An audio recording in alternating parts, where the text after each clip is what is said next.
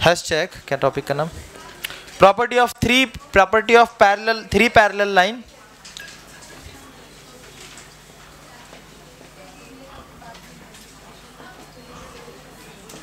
चलो, आवाज़ बंद, अभी ध्यान दो बेटा, सब एक अब ध्यान दो सारे। Three parallel lines and their transversals.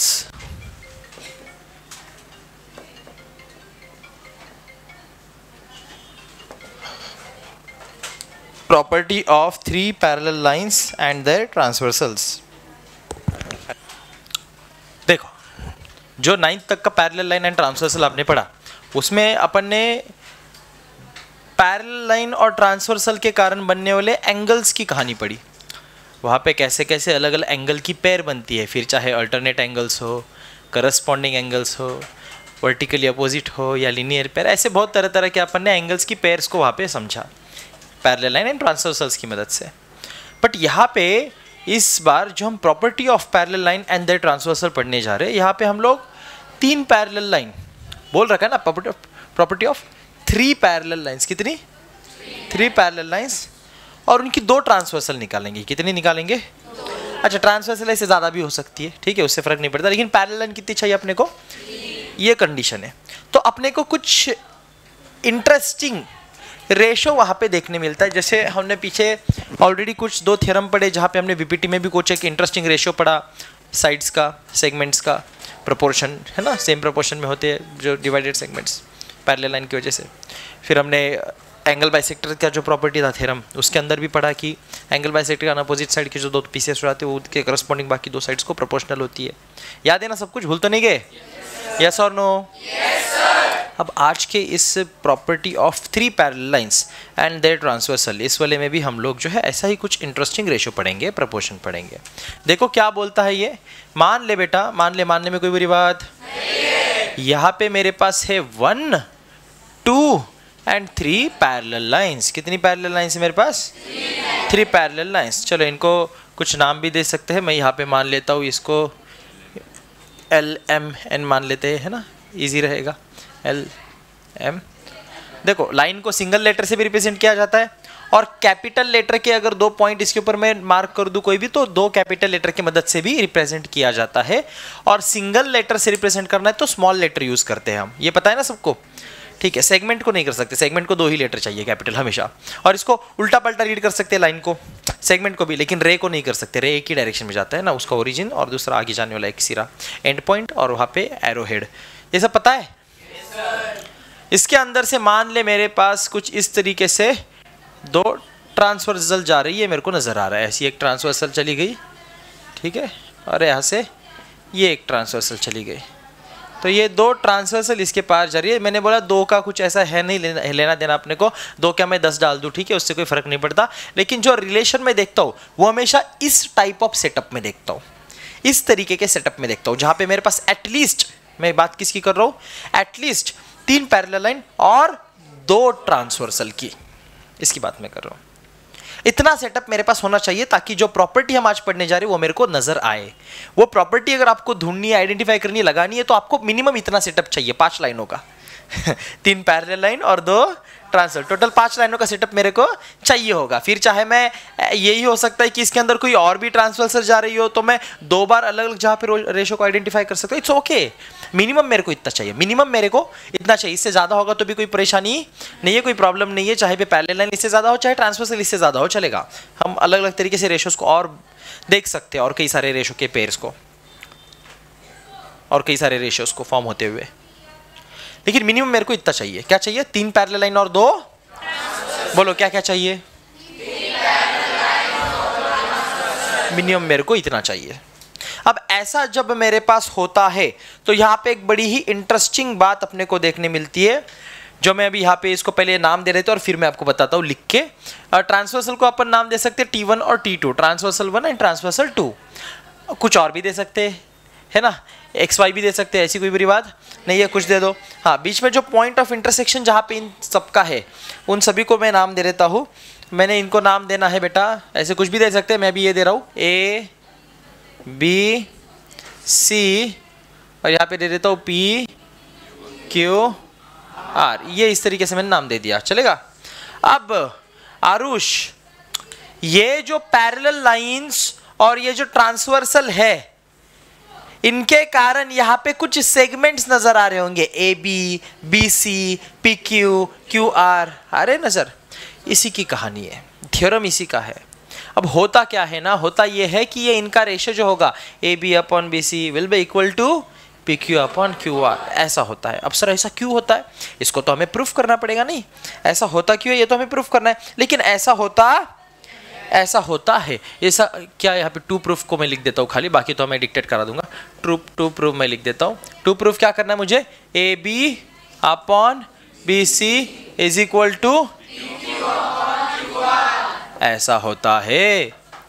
ऐसे सेटअप में ऐसा होता है। और ऐसा क्यों होता है?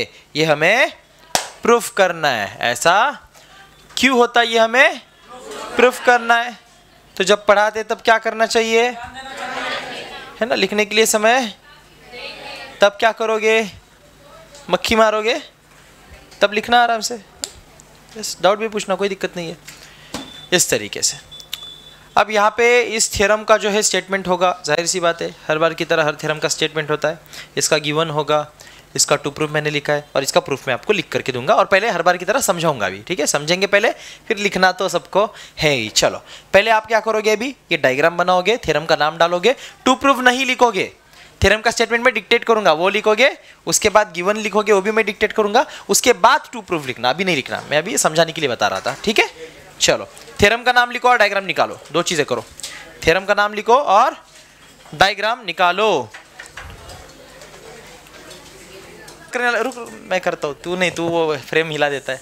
वो बराबर जाके सेट करता है ओके यस चलो। ऑलराइट तो अभी इसका प्रूफ समझते हैं। पहले डायग्राम में समझ लेते हैं हर बार की तरह। डायग्राम में इजी है समझना। देखो, कुछ नहीं करना है। मतलब ऐसा बिल्कुल कुछ नहीं नहीं, करना है थोड़ा सा, लेकिन कुछ नहीं करना है। दो बार बीपीटी अप्लाई करना है। समझाओ कैसे? देखो। अगर एक छोटी सी कंस्ट्रक्शन भी करनी पड़ेगी यू नहीं कि ऐसी हो गया? एक छोटी सी अब आपके बुक में देखोगे तो ये ऐसे किसी भी साइड से निकालो, यहाँ से निकालो, यहाँ से। ये मैंने कनेक्ट कर दिया। इससे क्या हुआ देखो जरा ध्यान से। क्या मुझे दो ट्रायंगल नज़र आ रहे हैं अल्टी पल्टी एसीपी एसीपी प्रद्युमन। और ये सीपीआर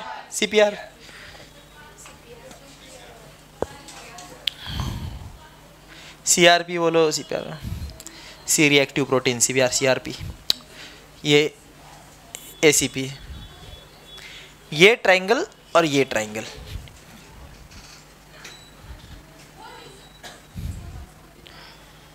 क्या मेरे को पहले से पता है कि ये तीनों लाइन पैरेलल है? यस सर और यहाँ पे अगर ये ट्रायंगल में देख लू तो इस ट्रायंगल में एपी बेस तो ये लाइन उसको पैरेलल आ रही है। अब इस पॉइंट को भी मैं कुछ नाम दे सकता हूँ, जैसे हमारे बुक के हिसाब से अगर देख ले, मान ले तो इन्होंने डी दे रखा है नाम तो मैं भी डी दे देता हूँ, ठीक है? चलो, आपको समझने में आसान तो अब मैं ये बोल सकता हूँ कि एपी को जो बीडी है, ये कैसा बेटा? पैरेलल है। और हम जानते हैं कि ट्राइंगल के किसी भी एक साइड को अगर कोई पैरेलल लाइन चली जाती है, जो कि बाकी उसके दो साइड को दो डिस्टिंग पॉइंट में इंटरसेक्ट कर रही होती है तो अपने आप, उसकी जो बाकी दो साइडें हैं, उनके जो सेगमेंट्स रहते हैं, वो सेम प्रोपोर्शन में डिवाइड हो जाते हैं। यही तो था बेसिक प्रोपोर्शनलिटी थ्योरम अरे यस और नो तो यहाँ पे मैं बीपीटी अप्लाई कर सकता हूँ, मान ले इस तरीके से C B upon is equal to C D upon सही बात? अब ऐसे ही मैं इस वाले ट्राइंगल में भी तो बीपीटी अप्लाई कर सकता हूँ, जहाँ पे डी क्यू सी आर को पैरेलल होगा। तो यहाँ पे भी ये सेगमेंट्स का प्रोपोर्शन कैसे रहेगा? सेम रहेगा। अब इसके एंड में क्या आएगा? सुनो, ध्यान से। आपको एक झटके में प्रूफ फिल कर देता हूँ। फिल देखो, ध्यान से। ये वाला पार्ट तो कॉमन है ना? देखो, ये ये इज़ इक्वल टू ये पार्ट रहेगा कुछ। जो कि this upon this this upon this is equal to this upon this फिर इस वाले ट्राइंगल में भी this upon this is equal to this upon this ही रहेगा। तो ये वाली साइड पूरी कैसे हो गई? सेम हो गई। तो ये वाली भी कैसे रहेगी? तो ये इसको आ गया इक्वल हुआ फील चलो, जिसको हुआ मुबारक है, नहीं हुआ तो कोई बात नहीं, अभी सॉल्व करते करते समझो, ठीक है? तो इस तरीके से थेरम छोटे छोटे एक बार हमको उसका लॉजिक क्लियर रहेगा ना तो हमें थेरम रटने की ज़रूरत नहीं है, फिर हम थेरम ऐसा फेंकेंगे, ठीक है? थेरम हाँ थेरम रटने की ज़रूरत नहीं है थेरम रटने की ज़रूरत नहीं है। चलो ए नाइन्थ क्लास चाओ चाओ, बंद करो रे। इसके बाद डिक्टेट करना था सॉरी मैं भूल गया। लिखो लिखो, फटाफट डिक्टेट करता हूँ। फास्ट लिखना है, बिल्कुल। थेरम। पहले लिखेंगे? मतलब थेरम का स्टेटमेंट आता है उसमें, बराबर? हाँ लिखो। बताओ। The ratio of the intercept intercept C P T S intercept the ratio of the the ratio of the intercepts the ratio of the intercepts made on an uh, sorry made on a transversal made on a transversal made on a transversal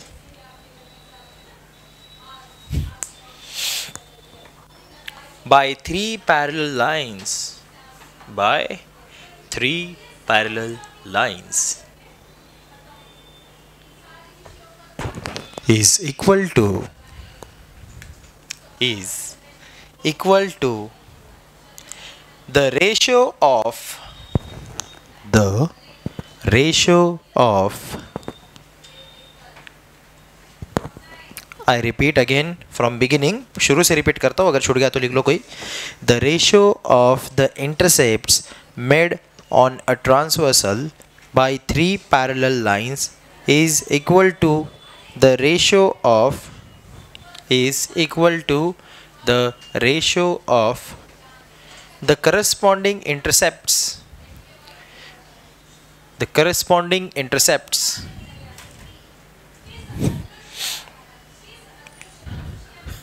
Made on any other transversal.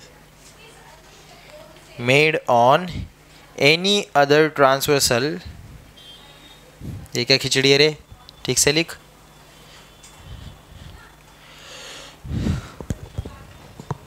Ratio of the corresponding intercept made on any other transversal by the same parallel lines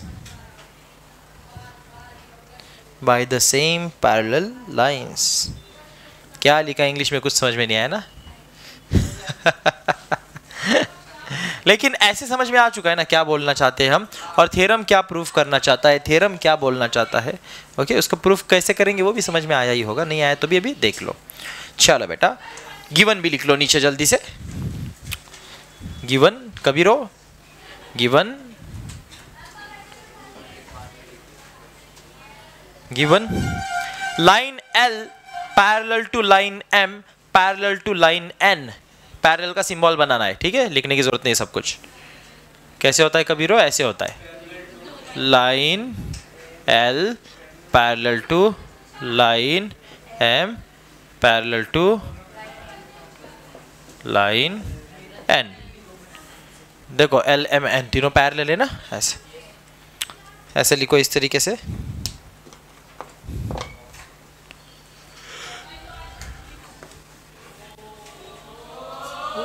अरे रे रे।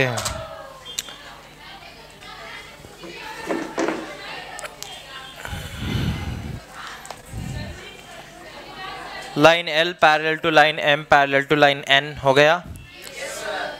T one and T two are transversals T one and T two are transversals.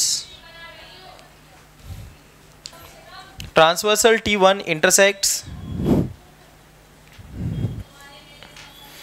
the line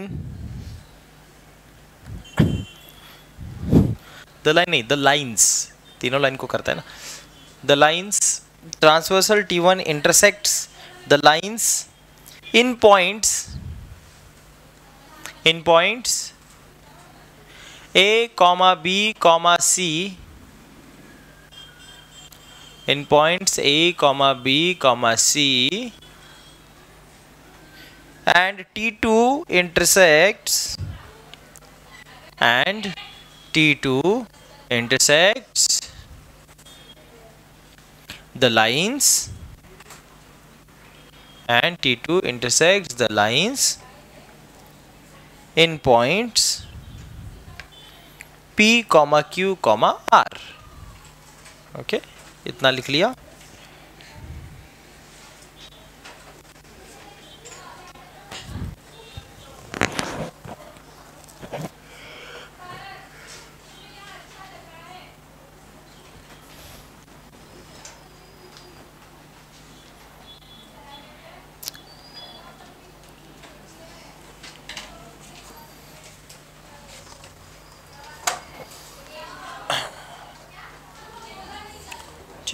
अब इसके proof में ही हम लोग इसकी construction लिख लेंगे। ऐसे कंस्ट्रक्शन को अलग से भी लिखा जाता है और कभी कभी ऐसी छोटी सी कंस्ट्रक्शन हो, बस एक ही सेगमेंट वगैरह ड्रॉ करना हो डायग्राम के अंदर ही तो फिर डायग्राम को एक्सटेंड एक्सटेंड नहीं करना हो तो फिर प्रूफ के अंदर भी कंस्ट्रक्शन लिख दिया तो भी चलता है। जैसे इस वाली केस में हम लोग प्रूफ के अंदर ही इसका कंस्ट्रक्शन लिख रहे हैं, ठीक है? तो यहाँ पे मैं प्रूफ की शुरुआत करता हूँ। टू प्रूफ आप लिख लो, ठीक है? टू प्रूफ लिख लो, उसके बाद फिर प्रूफ टू प्रूफ लिखा?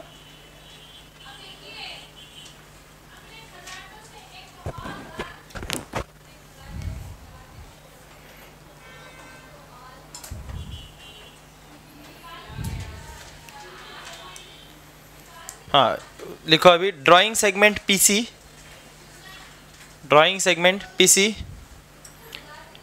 which intersects line M at point D जो दिख रहा है वो लिखना होता है जैसे drawing segment PC which intersects line M at point D simple diagram में आप देख लो. Drawing segment drawing segment PC which intersects line M at point D इतना ही तो है।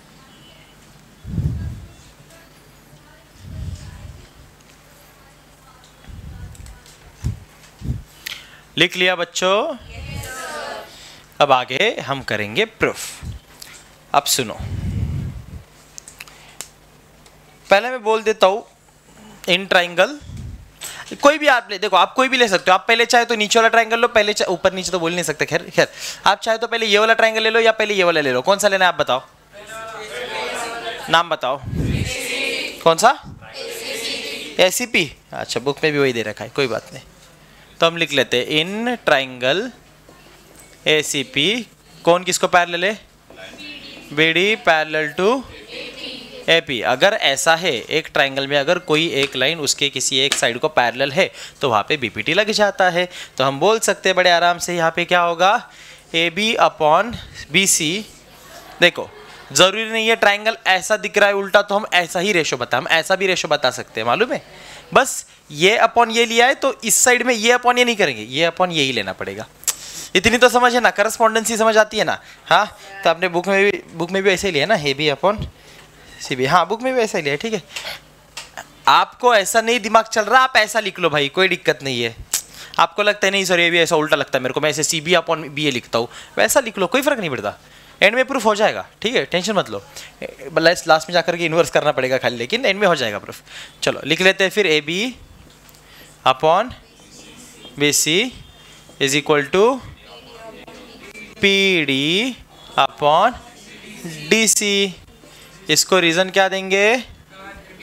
बेसिक प्रोपोर्शनलिटी थ्योरम आप पूरा लिखोगे, मैंने शॉर्टकट लिखा है.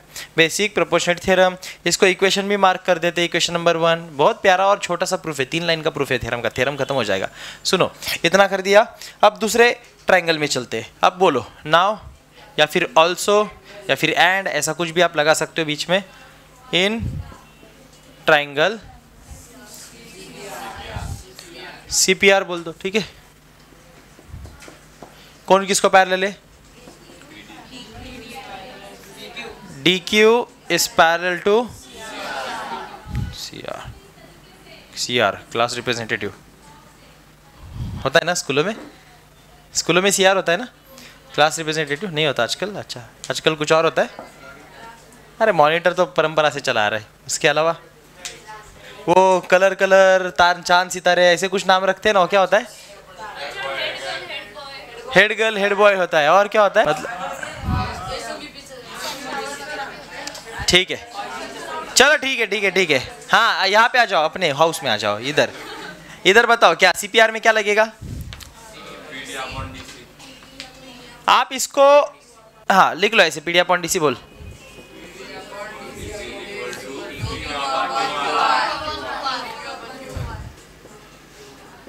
बराबर बात? इसको बोलेंगे इक्वेशन नंबर इसका भी reason BPT basic proportionality theorem चलो. बीपीटी ने हमको ये बता रखा है पहले ही. ठीक, बढ़िया. एक नंबर काम किया बीपीटी ने. अब सीधा बोल देंगे. देर फोर अब सीधा बोल देंगे. अब इसको देखो कैसे करना है हमें. हम होशियार बच्चे हमको बताए कि ये इज़ इक्वल टू ये है और ये इज़ इक्वल टू ये है और ये ये सेम है. तो ये इज़ इक्वल टू ये हो जाएगा। दिमाग को बताए। बताएँगे कैसे? बताएँगे ऐसे। बोलेंगे A B upon B C is equal to P D upon D C is equal to देखो if A is equal to B is equal to C then A is equal to C transitivity क्या बोलते हैं इसको? लेकिन ये पता कहाँ से चला हमको? फ्रॉम बड़ा गंदा फ्रॉम लिखा।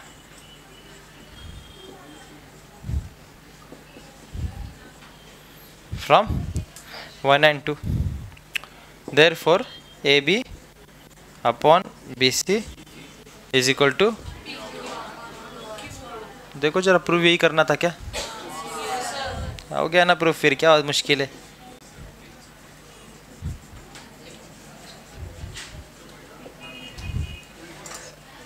हेंस प्रूव्ड छाप लो। चलो आगे बढ़ो बेटा।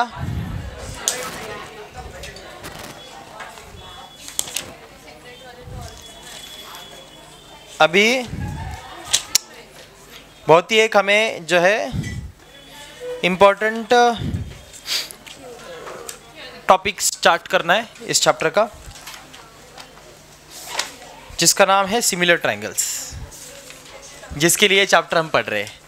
अभी तक जो बातें की हमने, ठीक है, एक दो थे, दो तीन थेरम हमने पढ़े, वो तो थे ही अच्छे। लेकिन अभी हम लोग ओरिजिनल चैप्टर का जो नाम भी है एसएससी के लिए और जो सीबीएसई में भी मेन टॉपिक है सिमिलर ट्रायंगल्स या फिर सिमिलरिटी ऑफ़ ट्रायंगल जिसके अंदर हम सबसे शुरू में पढ़ेंगे टेस्ट ऑफ़ सिमिलरिटी क्या पढ़ेंगे बेटा?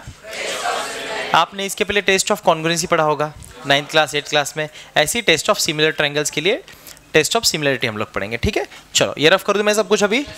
नया टॉपिक है, सब लोग ध्यान देंगे और ठीक है? बहुत अच्छे से समझना इसको, कहीं पे भी किसी को कोई सवाल डाउट रहता तो तुरंत पूछ लेना उसी पॉइंट पे। चल।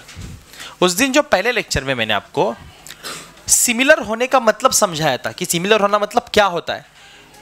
सबको समझ में आया बेटा? अब वही सिमिलरिटी ट्राइंगल्स के लिए हमें पढ़नी है, जिसके लिए ऐसी कुछ बातें हमें समझनी पड़ेगी कि हम ये बता पाए कि कुछ ऐसा ऐसा अगर है, ये ये ये दो चार चीज़, ऐसा अगर है तो वो ट्राइंगल सिमिलर है और ऐसा अगर नहीं है तो वो दो ट्राइंगल सिमिलर तो ऐसा जो हमें पढ़ना है, उसको हम बोलते हैं टेस्ट ऑफ़ सिमिलरिटी क्या बोलते हैं? ऐसी कुछ टेस्ट हम पढ़ेंगे कि भैया जो है, ऐसी ऐसी चीज़ें हैं, ये है तो वो सिमिलर रहेंगे, ये नहीं है तो सिमिलर नहीं रहेंगे। ये हम पढ़ेंगे आज, ठीक है? हाँ बोलो। तुम नहीं थे? अच्छा ठीक है। अभी टॉपिक के साथ भी समझ ही जाओगी वैसे तो। ठीक है, लेकिन पिछली बार मैंने बच्चों को एक इंट्रोडक्शन क्योंकि चैप्टर का नाम सिमिलरिटी है और ट्राइंगल्स तो हमने समझा था सर्कल्स की मदद से हमने समझा था कि दुनिया का हर सर्कल कॉन्ग्रेंट बोल सकते कॉन्ग्रेंट नहीं बोल सकते। कॉन्ग्रेंट होने का मतलब होता है उनके मेजर्स एग्जैक्टली इक्वल होना सेम होना।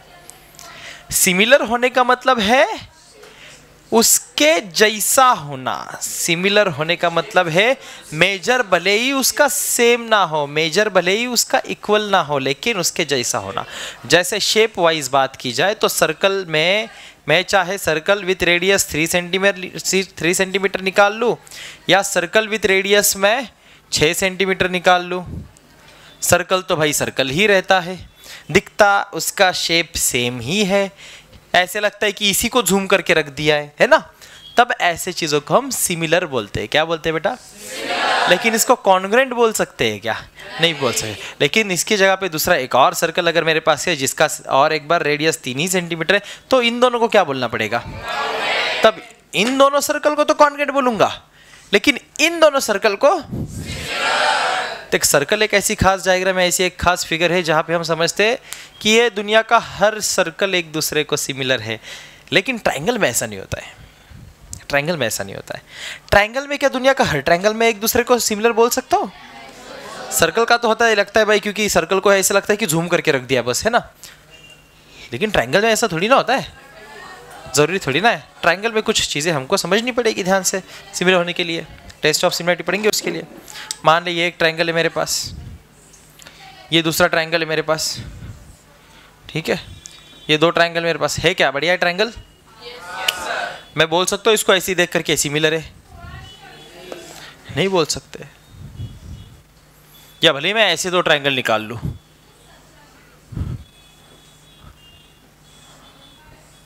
मैं देख के बोल सकता हूँ ये दो ट्राइंगल सिमिलर है। देख के बोल सकते हो दो ट्राइंगल सिमिलर है? देख के कभी नहीं बोलना बेटा कि दो ट्राइंगल सिमिलर है। दिखने में चाहे कितने ही दिखे। जब तक आपको एक सर्टन इन्फॉर्मेशन पता नहीं है उसके बारे में। क्या होती है सर सर्टन इन्फॉर्मेशन जैसे कि एंगल के बारे में या उसके साइड्स के रेशियो के बारे में। हमेशा याद रखना, जो ट्राइंगल सिमिलर होते हैं, जो दो ट्राइंगल सिमिलर होते हैं। उनके सभी corresponding angle equal same congruent होते हैं। जैसे कि इस केस में मैं अगर मैं बता दूँ आपको कि ये 90 डिग्री है,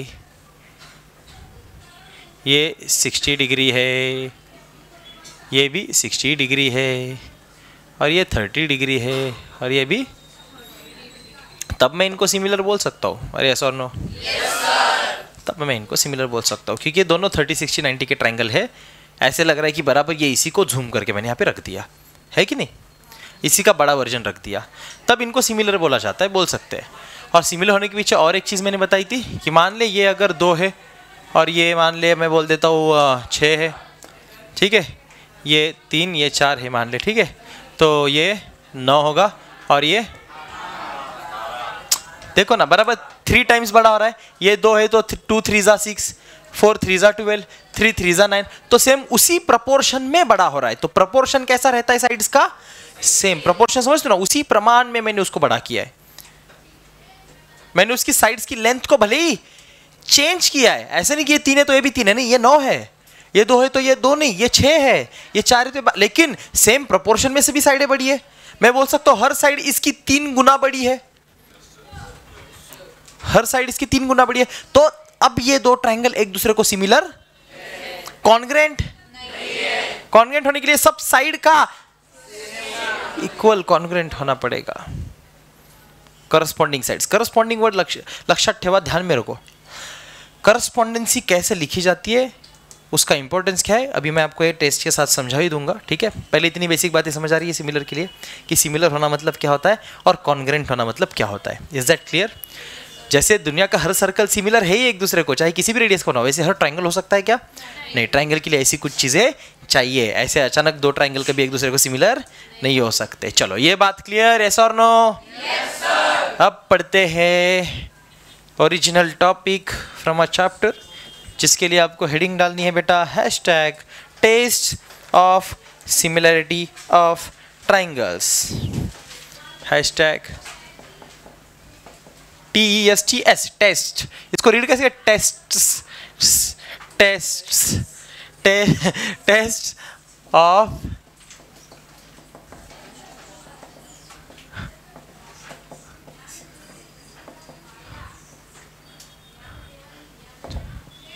test test of similarity of triangles test of similarity of triangles okay किसी को अच्छे से बोलना आता है ये? टेस्ट टेस्ट टेस्ट टेस्ट वो टेस्टिस हो जाएगा फिर अपना रिप्रोडक्शन चैप्टर पढ़ना है हमें. टेस्टिस टेस्टिस टेस्टिस टेस्टिस नहीं पता? कॉन्ग्रेंसी में भी टेस्ट पढ़े थे अपन ने कुछ. एंगल एंगल टेस्ट हो side angle side angle side angle या फिर साइड साइड साइड। अरे, ऐसे ही सब थे ना, याद है कि भूल के बताओ। ऐसे यहाँ पे भी हमें टेस्ट पढ़ना है। तो सबसे पहले टेस्ट हम यहाँ पे देखते हैं which is angle angle angle okay triple A angle angle angle test sir क्या होता है इसका मतलब? समझो। हम यहाँ पे तीनों एंगल की बात करेंगे ट्राइंगल के। तीनों एंगल की बात करेंगे। मान ले मान ले दोनों ट्रायंगल के, जिन दो ट्रायंगल का हम सिमिलरिटी के बारे में सोचना चाहते हैं कि वो सिमिलर है या नहीं है, ठीक है?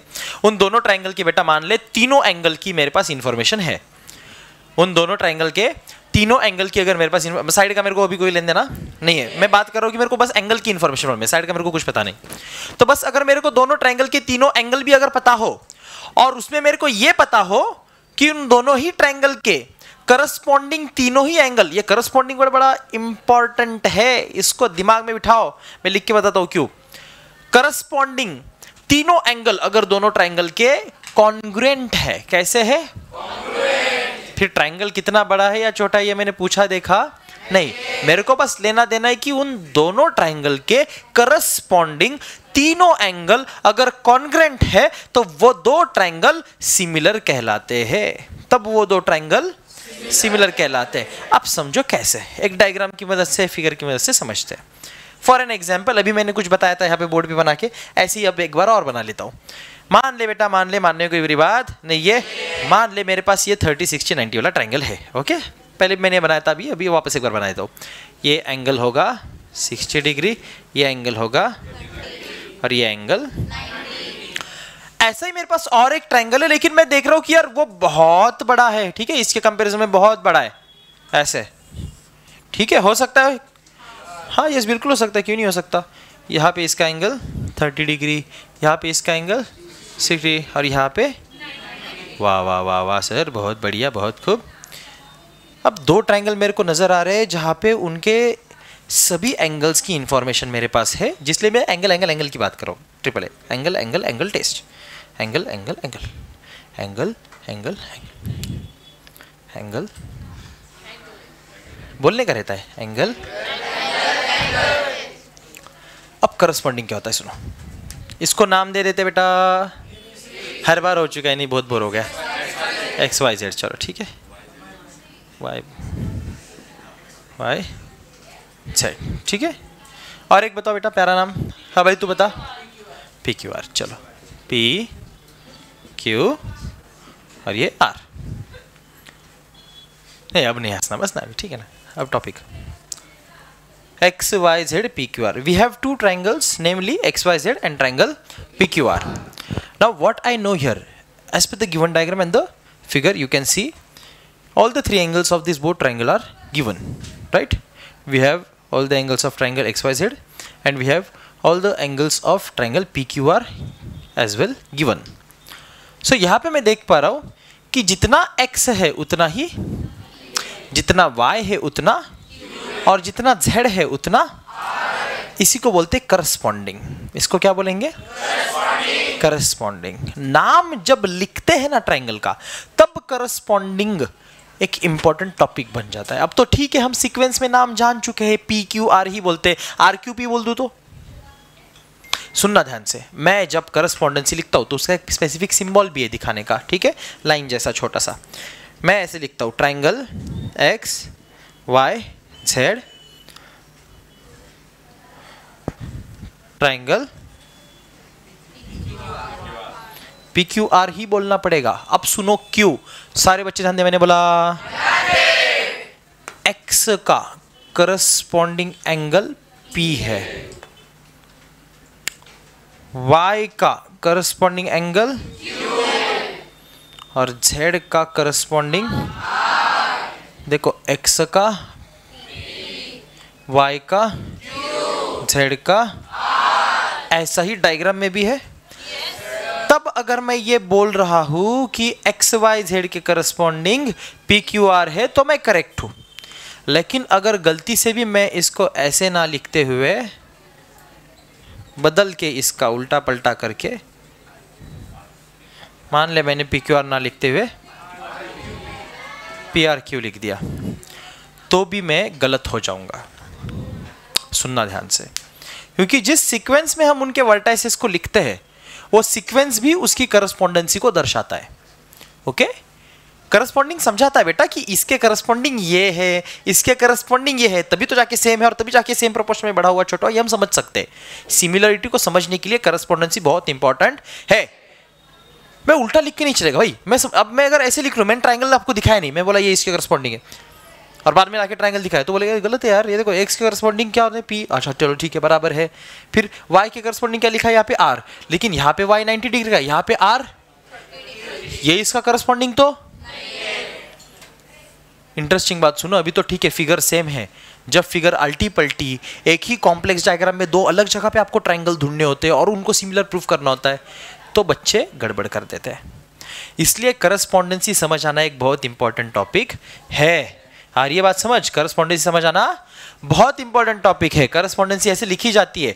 करस्पॉन्डेंसी आप तीनों को एक साथ बता करके लिख सकते हो, या करस्पॉन्डेंसी आप अलग से इस तरीके से लिख सकते हो। Angle X corresponding to angle angle y, corresponding to angle and angle z, corresponding to angle.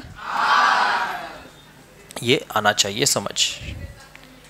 Correspondence angles के मदद से दिखाई जाती है। करस्पॉन्डेंसी वर्टाइसेस के मदद से दिखाई जाती है। करस्पॉन्डेंसी साइड्स के मदद से भी दिखाई जाती तो करस्पॉन्डेंसी बहुत इंपॉर्टेंट है। कौन किसके करस्पॉन्डिंग है, ये समझ आना चाहिए। अगर प्रपोर्शन में बात करें तो एक्स वाई का ही बड़ा प्रपोर्शन यहाँ पे आ रहा है और उतने ही प्रपोर्शन में एक्स जेड का भी प्रपोर्शन यहाँ पे बढ़ रहा होगा। जैसे पिछले वाले क्वेश्चन में तीन गुना बढ़ रहा था, मैंने बताया, नहीं? सारी साइडें तीन गुना बढ़ रही थी, इसीलिए वो सेम प्रपोर्शन में बढ़ गया था। अचानक कोई साइड एक, दो साइड मैंने तीन गुना बढ़ी और तीसरी साइड में चार गुना बढ़ा कर दी। तो ट्राइंगल बनेगा? वो सिमिलर रहेगा? एक साइड बड़ी छोटी हो जाएगी, नहीं? तो सेम प्रपोर्शन में रहना। बहुत ज़रूरी है सिमेट्रिकली इसे टेस्ट ऑफ़ सिमेट्री आगे हम साइड्स की बात करेंगे। अभी फ़िलहाल एंगल की कर रहे हैं। आगे साइड्स की बात करेंगे। अभी फ़िलहाल एंगल की कर रहे हैं। बस एंगल की ही अगर मेरे पास जानकारी हो तो मेरे को इतना पता होना चाहिए कि सारे करस्पॉन्डिंग एंगल इसके कैसे होने चाहिए बेटा? कॉन्ग्रुएंट इक्वल बोलो, कैसे होने चाहिए? Exactly exactly. सारे करस्पॉन्डिंग एंगल कैसे angle corresponding angle for an example मैं यहाँ पे कुछ और डायग्राम निकाल लेता हूँ। जैसे बेटा मेरे पास ये एक ट्राइंगल है। ठीक है, मेरे पास ये एक ट्राइंगल है।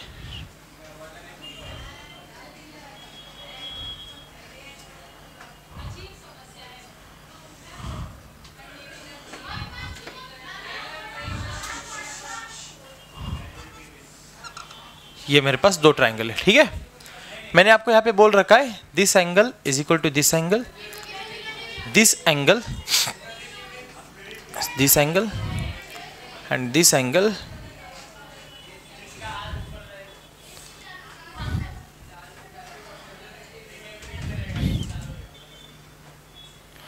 angle मैंने निशान बना के, कुछ निशान बना करके बता दिए कि कौन किसके बराबर है। तो आप यहाँ पे देख पा रहे हो कि ये एंगल इसके बराबर है, ये इसके बराबर है और ये इसके बराबर है। तो इसको अगर घुमा करके इसके ऊपर रखे तो इसके ऊपर ये बैठेगा।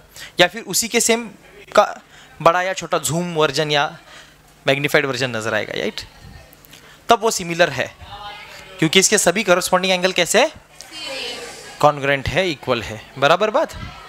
ये जानकारी मैं अगर आपको यहाँ पे नहीं देता, ये जानकारी अगर मैं आपको यहाँ पे नहीं देता तो आपका डेफिनेटली क्या हो जाता? कन्फ्यूज़न हो जाता कि यार कैसा? इसके नाम में अगर मैं देख लूँ ए बी सी बोल रहा हूँ। यहाँ पे मैं इसको पी हर बोल रहा हूँ। लेकिन मैं ऐसा नाम ना देते हुए आपको ऐसा दे दूँ तो ढूंढ के दिखाओ मेरे को। करस्पॉन्डेंसी कंफ्यूजन हो रहा है? गड़बड़ हो गई? अरे बात समझ। ये मैं दे देता हूँ, चलो। अब बताओ, नाम के साथ मेरे को ऐसा बताओ कौन करस्पॉन्डेंसी के साथ बराबर। ये मेरे को बताओ उन दो ट्रायंगल के लिए।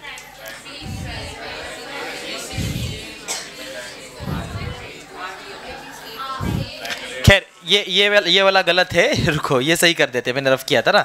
हाँ इसको अपन हाँ ये सही लिखा है। हाँ अब इसके लिए बताओ। Triangle A B C corresponding to triangle R Q P आएगा। अरे बराबर बात? Yes, अब समझ आ रहा है करस्पॉन्डेंसी का इंपॉर्टेंस क्लियर तब ये दो ट्राइंगल सिमिलर होंगे। तो अगर तीन एंगल की मूल मुद्दे पे आते, तीन एंगल की मेरे पास अगर इंफॉर्मेशन है ट्राइंगल के, जहाँ पे मुझे पता है कि दोनों ही ट्राइंगल में उनके तीनों एंगल क्या क्या है मतलब कितने डिग्री के दे रखे और मैं देख रहा हूँ कि यार चलो, उनके सभी करस्पॉन्डिंग एंगल जो दे रखे वो इक्वल है तो वो दो ट्राइंगल कैसे हो जाएँगे? सिमिलर तब वो दो ट्राइंगल कैसे हो जाएँगे? आ रही है बात समझ? यस और नो बढ़िया वेरी गुड ठीक है? तो इस चीज़ को जो है हमारे बुक में यहाँ पे इन्होंने पढ़ाया है। बाकी इसको जो है हम लोग एक एग्ज़ाम्पल के साथ भी समझेंगे अभी। और इसके साथ जो है इसका प्रूफ भी हमें वैसे दिया गया है यहाँ पे। तो प्रूफ भी एक बार लिख लेते हैं। पहले आप जो यहाँ पे मैंने लिख के दिया है करस्पॉन्डेंसी के रिलेटेड ये सब छाप लो, चलो। एंगल एंगल एंगल टेस्ट की मैंने बात की। अच्छा सुनो। अभी यहाँ पे अपन जो है इस दिए हुए प्रूफ के साथ इसको समझते ये प्रूफ की ज़रूरत होती नहीं है वैसे प्रूफ प्रूफ नहीं सिखाता हूँ हाँ वो वो फॉर्म एडिशनल फॉर्म आगे चलो एंगल एंगल टेस्ट ठीक है? ए एंगल एंगल एंगल तीन एंगल एंगल एंगल टेस्ट समझ में आई? ऐसे एंगल एंगल टेस्ट भी है, समझाता हूँ कैसे? हाँ मतलब हमको तीन एंगल की ज़रूरत ही नहीं है। बस दो एंगल भी हाँ रहने देना, वो वो चिंदी टॉपिक है, ये छोटा सा, समझा रहा हूँ, टेंशन है मिस नहीं करूँगा कुछ हाँ। सेकेंड एंगल देख एंगल एंगल एंगल सीखे। उसमें क्या सीखे? उसमें यह सीखे कि बेटा, अगर दो ट्रायंगल के करस्पॉन्डिंग तीनों एंगल अगर हमें पता हो कि वो कॉन्ग्रेंट है तो वो दो ट्रायंगल जो है, वो सिमिलर कहलाते हैं। तब वो दो ट्रायंगल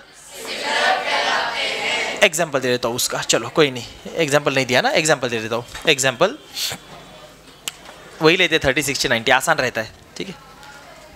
ठीक है हाँ।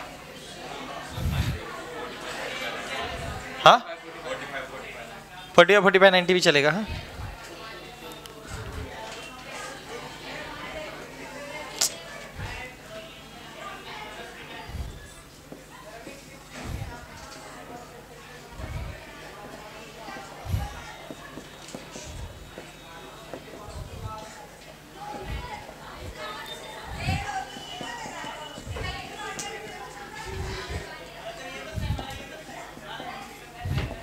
In triangle A B C and triangle P Q R ये नालायकों को खुल जाता दो मिनट। एक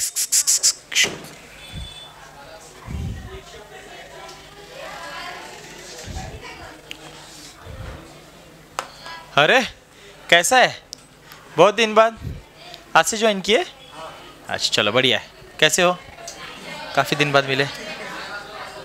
कॉलेज वही सेम है ना? अच्छा ठीक है। कब ज्वाइन किया? कब ज्वाइन किया? फ़र्स्ट डे आज? ठीक, बढ़िया, बैठो।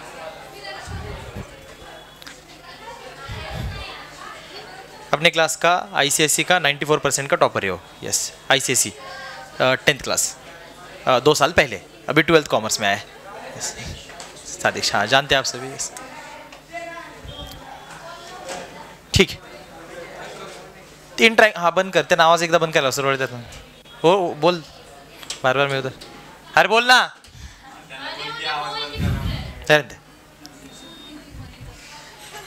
यहाँ पे हमको दोनों ट्रायंगल में पहले बताना पड़ेगा है ना? क्या? करस्पॉन्डेंसी हम बोलेंगे ट्रायंगल अब करस्पॉन्डेंसी बताने के तरीके मैंने बोला। या तो आप वर्टाइसेस का तीनों का अलग से बता सकते हो एंगल की फॉर्म में या तो फिर आप जो है सीधा ट्रायंगल के नाम से बता सकते हो तीनों का एक ही बार में। ठीक है? तीनों वर्टाइसेस का एक ही बार में निकल जाता है ट्रायंगल का नाम से बताओ तो, तो यहाँ पे हम बोल सकते हैं triangle A B C corresponding to check करना पड़ेगा। ए के लिए कौन है बी के लिए कौन है और सी के तो अब तो सीधा सीधा है, जैसे हर बार नाम के हिसाब से, है ना? ऐसे नाम पहचाने की ज़रूरत नहीं है ना? तो चेक करना बहुत इंपॉर्टेंट होता है। मैंने बोला ए बी सी के करस्पॉन्डिंग कौन आ रहा है पी फिर क्यू और फिर आर चलो करस्पॉन्डेंसी लिख दी। फिर बोलेंगे यहाँ पे हम लोग। इन ट्राइंगल ये एंगल बोल बेटा ए is congruent to angle P और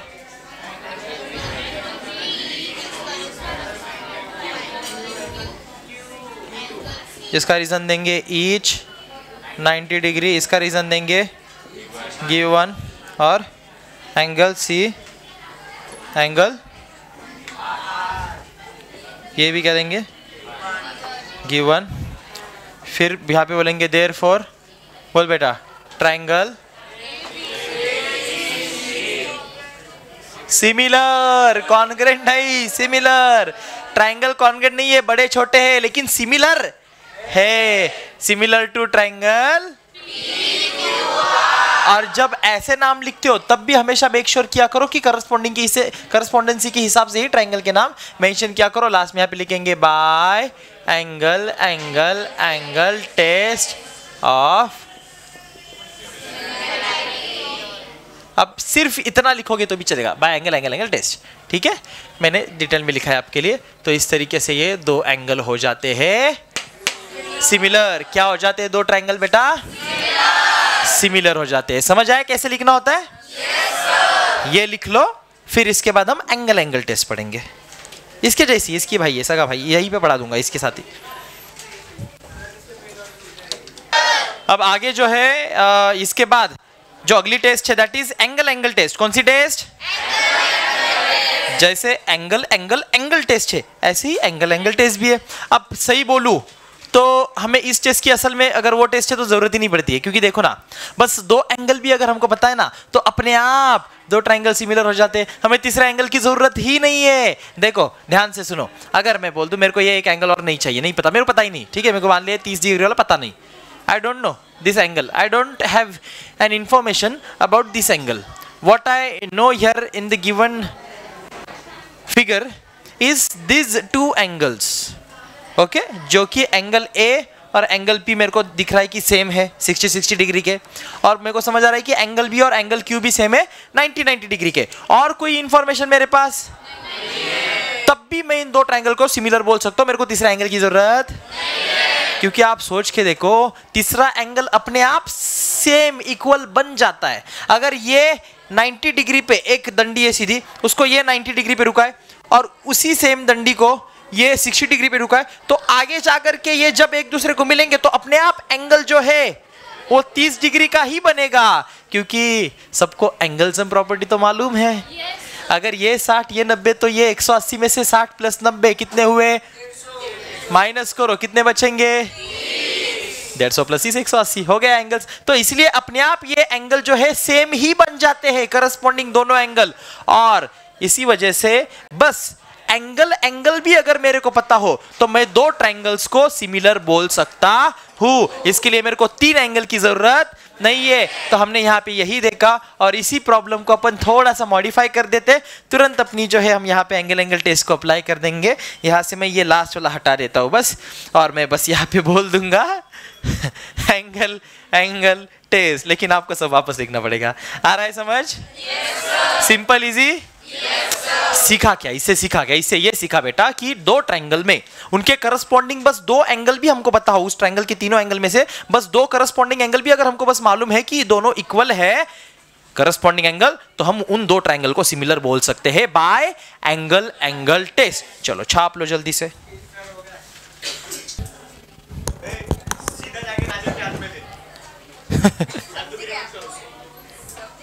Okay okay?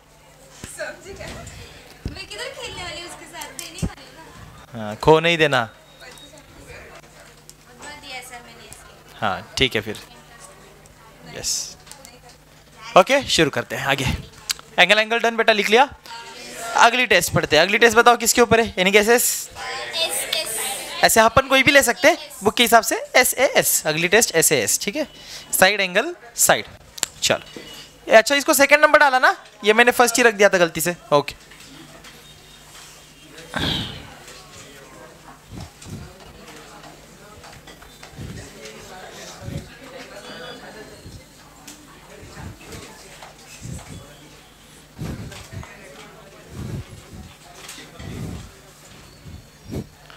अच्छा।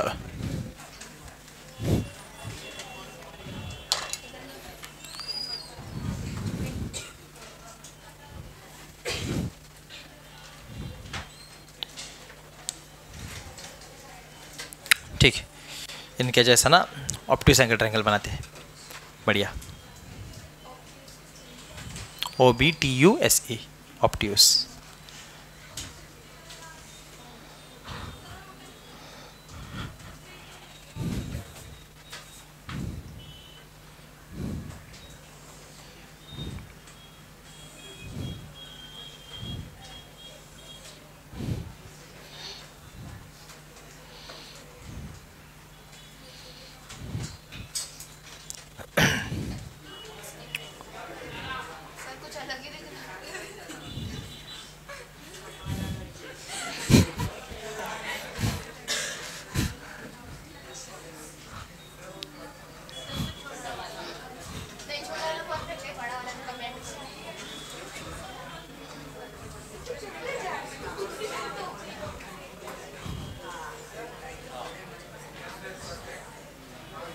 दिखने पे नहीं जाने का लेकिन।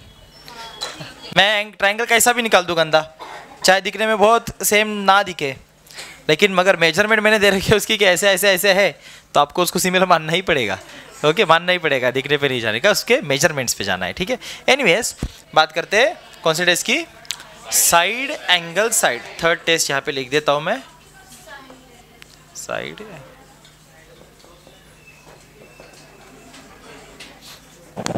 ध्यान दे हटा मैंने बोला side angle side test Poonam इस टेस्ट में हमें दो साइड और एक एंगल की इंफॉर्मेशन बताई गई होगी। मतलब ये टेस्ट में नहीं बताई गई होगी। अगर दो ट्रायंगल में हमको ऐसी इंफॉर्मेशन पता है तो हम ये टेस्ट बताएँगे। अरे नहीं। अगर बस दो एंगल की जानकारी हो तो हम बोल देंगे एंगल एंगल टेस्ट से दो ट्रायंगल सिमिलर है। अगर तीनों एंगल की हमको जानकारी दी गई हो और वो पता है कि हम सारे करस्पॉन्डिंग एंगल के इक्वल है, दोनों ट्रायंगल के तो बोलेंगे एंगल एंगल टेस्ट से ये दो ट्रायंगल सिमिलर हुए। और अगर हमें ये किसी ट्रायंगल में पता हो कि उसके इस तरीके से एक एंगल को इंक्लूड करने वाली दो साइडें ऐसी सभी दो साइड और वो एंगल करस्पॉन्डिंग दूसरे ट्रायंगल की भी अगर इक्वल है, और साइड्स अगर सेम रेशो में है एंगल इक्वल और साइड सेम रेशो में है तो तब वो दो triangle similar कहलाएँगे by side angle side test नहीं समझ में आया? ध्यान देना है। टेंशन नहीं लेना है, बस ध्यान देना है, ठीक है?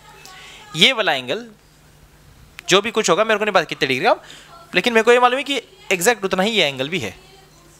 लेट्स से इसको मान लेते हो 120 डिग्री। ये भी 120 और ये भी 120 सो आई नो कि दो ट्रायंगल में उनका कोई एक करस्पॉन्डिंग एंगल एंगल हमको ज़्यादा नहीं पता। कितने पता? बस एक ही एंगल पता है, ठीक है? सो दो ट्राइंगल में उनका करस्पॉन्डिंग कोई एक एंगल हमको पता है कि कॉन्ग्रेंट है। बाकी दो एंगल की जानकारी मेरे पास नहीं है। एक एक एंगल की है। और उस एंगल को इंक्लूड करने वाली दो साइड है। ऐसे नहीं कि ये और ये साइड हाँ हाँ हाँ हाँ ना मुन्ना ना। ये और ये साइड मिलके इस एंगल को बना रही है नहीं? तो हम बोलते हैं कि वो साइड है, बेटा, वो साइड जो उस एंगल को बना रही है या उस एंगल ने जो इंक्लूड की हुई है, उस एंगल की जो दो आर्म्स है, वो दो साइड्स ऐसी दो साइड्स तब उसको जाके हम साइड एंगल साइड बोल पाते हैं। यू नहीं चलेगा साइड एंगल और ये साइड नहीं चलेगा।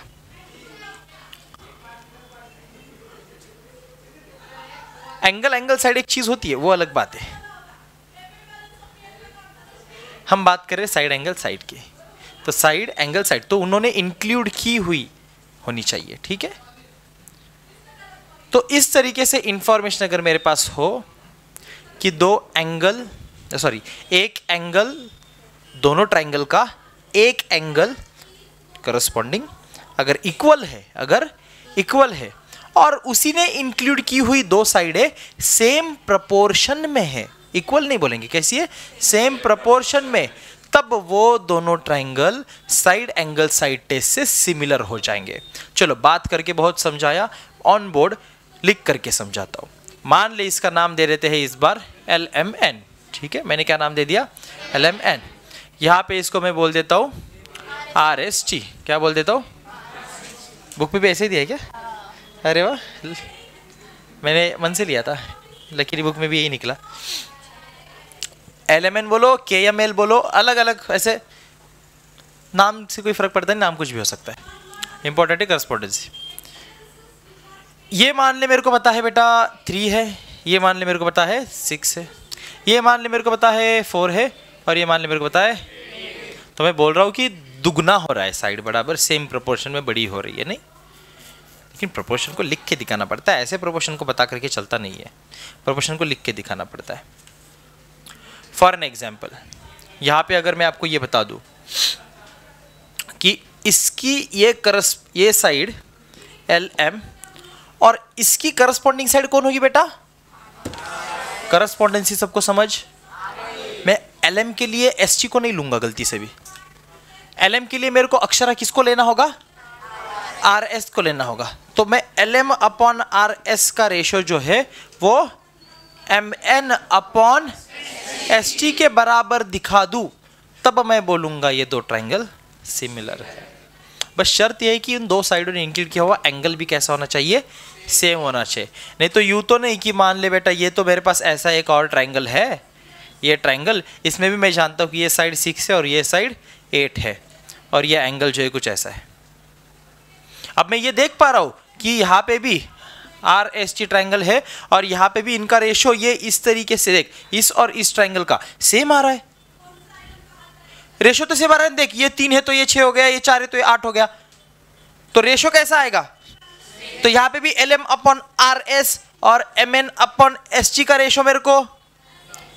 लेकिन क्या ये दो ट्राइंगल में सिमिलर बता दू इतने से पे? एंगल तो देखो उनके बीच का।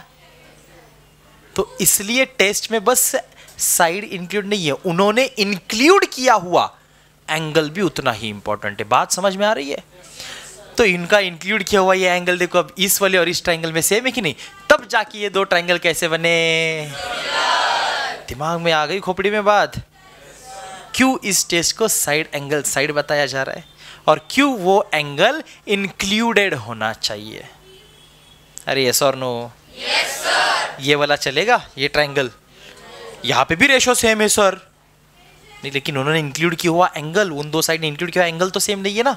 तो एंगल जब सेम होगा तभी ट्राइंगल सिमिलर होंगे इंक्लूड किया एंगल सेम नहीं होगा तो वो दो ट्राइंगल सिमिलर इसीलिए टेस्ट हमने बनाई है एस ए एस टेस्ट अब यहाँ पे इसको कैसे दर्शाएँगे, कैसे लिखेंगे? ये तो मैं रफ कर देता हूँ फ़िलहाल, ये तो समझाने के लिए बताएँ ये सर्कल भी रफ कर देते अब यहाँ पे इसका रेशो सेम है क्या? चेक करते हैं। जैसे यहाँ पे L M upon R S L M कितना है? ऐसा बोलेंगे एल एम कितना? R S M N S T check करते हैं। थ्री वन ज़ा थ्री थ्री टू ज़ा सिक्स फोर वन ज़ा फोर फोर टू ज़ा रेशो कितना आया? रेशो वन अपॉन टू आया। रेशो मतलब रेशो सेम है। इसका भी रेशो वन अपॉन टू आ रहा है। इसका भी रेशो वन अपॉन टू आ रहा है। मतलब ये सबका रेशो नॉट टू आ रहा है। मतलब रेशो सेम है। मतलब ये साइड्स प्रोपोर्शनल सेम प्रोपोर्शन में बड़ी हुई इसलिए इसको क्या बोलते हैं? सेम ये प्रोपोर्शनल है और उन्हें इंक्लूड किया हुआ एंगल भी कैसा है? कॉन्ग्रेंट है। तब ये दो ट्राइंगल क्या हो जाएँगे? तो लिखना पड़ेगा। तो लिखने के लिए लिखेंगे इन ट्राइंगल कौन सा कौन सा? एंड अच्छा करस्पॉन्डेंसी बताओ।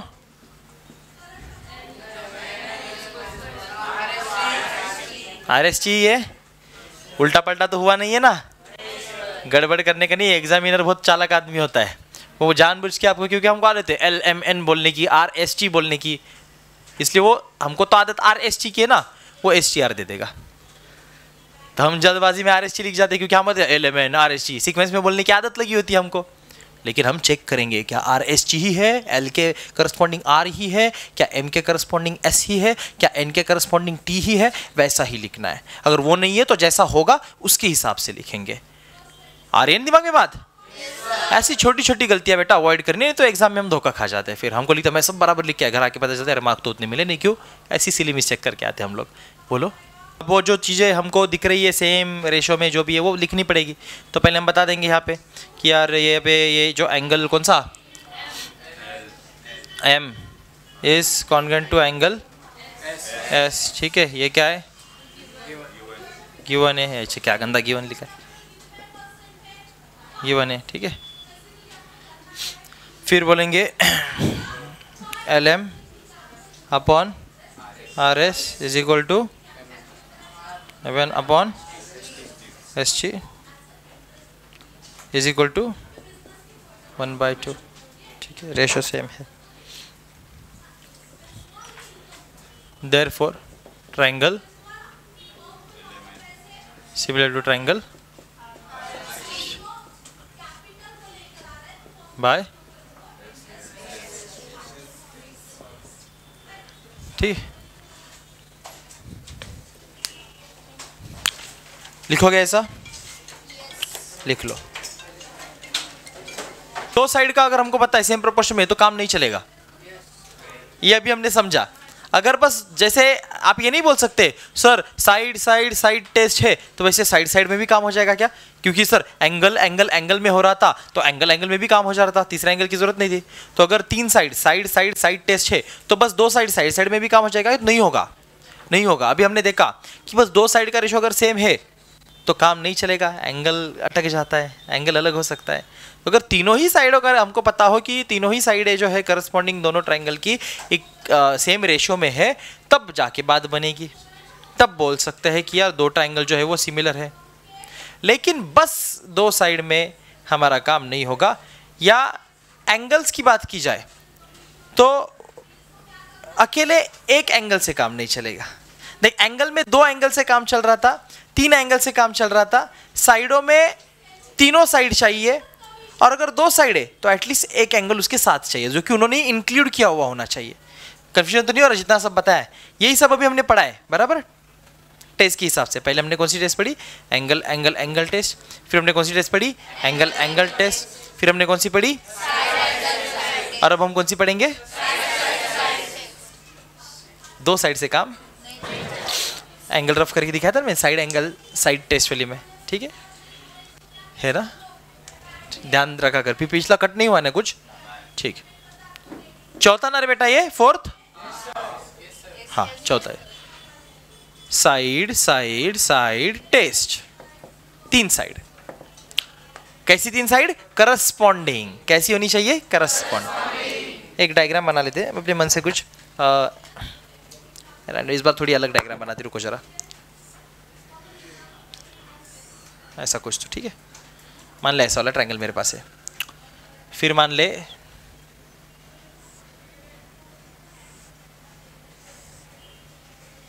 ऐसा वाला ट्रायंगल मेरे पास है, ठीक। वाह।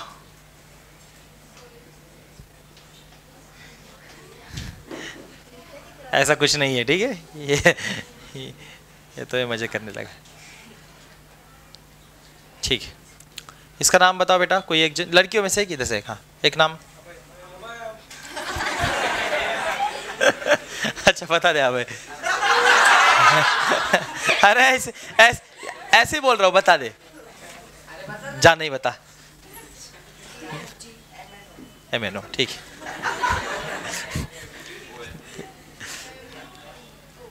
ठीक है। पीछे के ग्रुप में जाते, थोड़ा आगे तो सब बोलते ही है। अक्षरा, तू बता। हम्म? पी क्यू एल बड़ा अजीब ना। ठीक है अच्छा लेकिन यूनिक है। पहले हमने ऐसा नाम यूज़ नहीं किया है ना ट्रायंगल में। पी क्यू एल मैंने ऐसे दे दिया इसको नाम। चलो, ठीक है, जो भी आपको, ठीक है। आईपीएल भी दे सकते हैं, बोलो। दो ट्रायंगल आ गए? जानकारी हमें साइड्स की पता है। एंगल के बारे में मेरे को कुछ लेना देना नहीं है, कुछ पता भी नहीं है।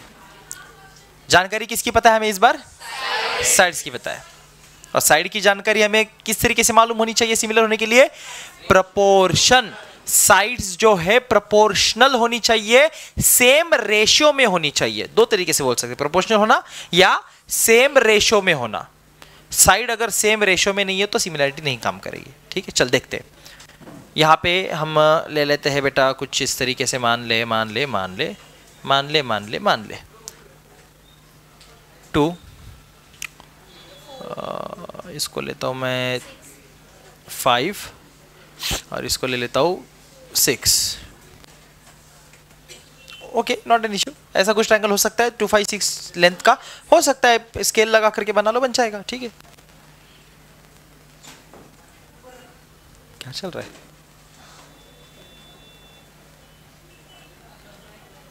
इसको मैं ले लेता हूँ। नहीं, रुको जरा, गड़बड़ नहीं।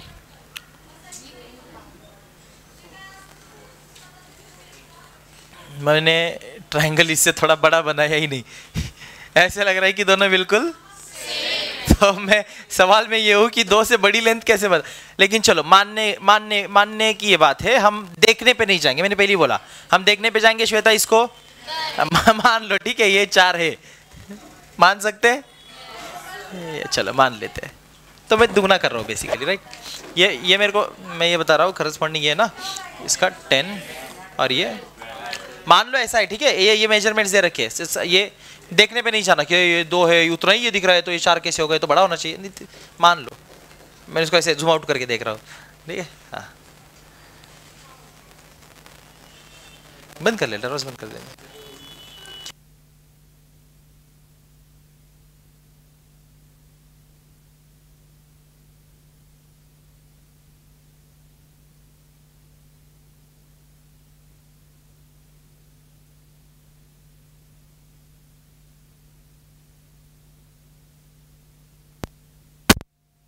अलग लिख के मेरे को चलेगा? ध्यान में आ रही बात? चाहे ट्रायंगल का नाम मैं कैसे लिखूं कि ट्रायंगल के नाम को अपन कैसे भी बोल सकते हैं, वो अलाउड है। ट्रायंगल के नाम से अपने को कोई लेन देन लेकिन जब मैं करस्पॉन्डेंसी लिखता हूँ ना, तब मेरे को उसी तरीके से बताना पड़ेगा, जो इसका करस्पॉन्डिंग है, वो उसी के बाद उसका करस्पॉन्डिंग उसी के बाद उसका करस्पॉन्डिंग सीक्वेंस में चलेगा। ओके रिधिमा तो ट्रायंगल बोल Ridhima Ridhima correct M N O मैंने लिखा ट्रायंगल अब तू बता एम का करस्पॉन्डिंग कौन है यहाँ पे? एम का करस्पॉन्डिंग कौन है? कई बार ऐसे होगा, क्योंकि एंगल देख के तो पता चलता था। ऐसे देख करके कई बार पता नहीं चलता है। तो इसका तरीका क्या है? सर, इसका कुछ जुगाड़ है क्या? हाँ बेटा, इसका जुगाड़ है। इसका जुगाड़ है। रेशो। रेशो को देखना पड़ेगा, कैसे बढ़ रहा है प्रोपोर्शन में। और दूसरी चीज़ आपको सेगमेंट्स भी करस्पॉन्डिंग लिखने आने हो चाहिए। जैसे आप ये भी लिख सकते हो M O corresponding to P L ना बेटा। हाँ। सुनो पी एन के लिए क्यों नहीं करस्पॉन्डिंग यहाँ पे मैं बोलूँगा? क्यू और एल ऐसा आ रहा है? ऐसा आ रहा है? ठीक है बताओ, क्या क्या चाहिए यहाँ पे? एम एन अपॉन बताओ उसकी करस्पॉन्डिंग देखो, इसका और एक तरीका बताता हूँ, ध्यान से देखना, तरीका। तरीका ये है, अगर यहाँ पे एम एन को अंडरलाइन करोगे तो यहाँ पे पी क्यू को कर लो। यहाँ पे एन ओ को अंडरलाइन करोगे तो यहाँ तो और यहाँ पे तो यहाँ पे तो अपने आप वैसे ही रेशो आएँगे। चेक करके देखो। एम एन लिया तो क्या लूँ? बस शर्त है कि ये करस्पॉन्डेंसी गलत ना हो जाए, क्योंकि इसके ऊपर तुम ये लिख रहे हो। या तो इधर देख के चुपचाप लिखो, अगर समझ आता है तो या तो यहाँ पे देख करके भी उसको आप तुरंत लिख सकते हो, जैसे एम एन तो ये पी क्यू फिर पे यहाँ पे एन ओ तो यहाँ पे क्यू एल चेक करो एन ओ इसका क्यू एल और यहाँ पे एम ओ तो यहाँ पे पी एल हाँ रहे तो ये भी एक तरीका है इस तरीके से देखने का। तो ऐसे भी देख करके आप करस्पॉन्डेंसी रेशो लिखने के लिए यूज़ कर सकते हो। Is that clear P L लिख लेता हूँ। अब चेक भी तो करना पड़ेगा, सही है कि नहीं? ऐसा थोड़ी कि मैंने बता दिया कि लिख के दे दिया सिर्फ़। अब अगर कभी कभी ऐसा हो सकता है कि इसमें से कोई अचानक एक रेशो इक्वल ना हो तो ऐसे नॉट इक्वल टू का साइन बनाना पड़ता है। अगर इक्वल ना हो तो। मैं तो चेक करूँगा ना पहले इक्वल है कि नहीं है। मैं सीधा थोड़ी ना बोल दूँगा इक्वल और लिख दिया कर, है, चलो भाई, दो ट्रायंगल सिमिलर चेक करना पड़ेगा तो मैं उस चेक करने के लिए वैल्यू डालनी पड़ेगी। तो वैल्यू ले लो यहाँ से, बताओ। एम एन अपॉन कितना है? N upon M O five one five five two ten six one six six two twelve two one two two two four सबकी कितनी आई रेशो वन अपॉन टू अब ये तो प्रॉब्लम के हिसाब से मैं ले रहा हूँ एग्ज़ाम्पल के हिसाब से, इसलिए मैंने मेजर्स दिए। मेजर्स दिए नहीं होते तो मैं बस ये बोलता कि ऐसा ऐसा होना चाहिए, तब दो ट्राइंगल क्या रहेंगे? सिमिलर रहेंगे। अब तो मेजर है तो सीधा एग्ज़ाम्पल के हिसाब से आपको मैं मेजर्स डाल के बता रहा हूँ। तो यहाँ पे लास्ट में लिखना पड़ेगा। देर फोर यहाँ पे लिखेंगे देर फोर ट्राइंगल बताओ। M is similar to triangle P Q L है पी क्यू एल हुआ ना? देखो जरा M N O P Q L okay by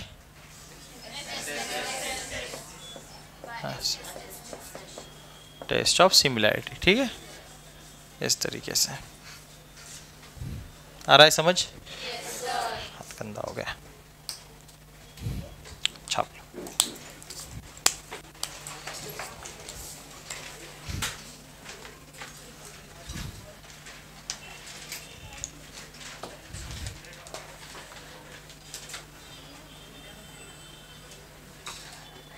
है सिमिलर कौन से टेस्ट से है? एंगल एंगल टेस्ट से सिमिलर है है ना? बढ़िया वेरी गुड लिखो कंप्लीट करो, जिसका कंप्लीट हो जाए, वो वैसे वैसे निकल सकता है। ठीक है? That's it for today's lecture I see in lecture goodbye